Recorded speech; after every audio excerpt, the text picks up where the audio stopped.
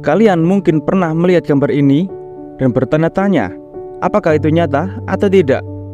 Ini adalah pygmy marmoset yang merupakan spesies monyet terkecil di dunia.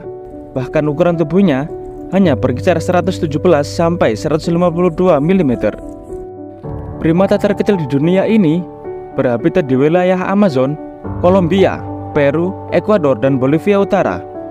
Hewan ini memakan getah pohon, nektar, hingga buah-buahan untuk bertahan hidup. Walau terlihat lucu, spesies monyet terkecil di dunia ini termasuk ke dalam tingkatan hewan yang dilindungi. Bulu pygmy marmoset memiliki ciri khas garis-garis coklat dan hitam yang membantunya untuk berkamuflase. Lehernya yang fleksibel bisa berputar hingga 180 derajat untuk melihat adanya predator.